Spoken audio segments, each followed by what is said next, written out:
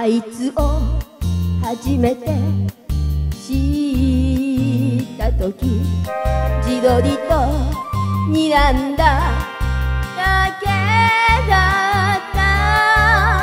嫌な感じと思ったけれど話のわかるやつだった。喧嘩もしたさ仲間だもんな仲間仲間。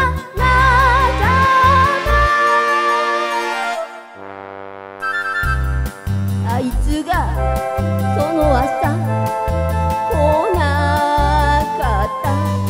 ポツンと机が空いていた。なんだかやっぱり気になるんだよ。昨日のうちにごめんなと。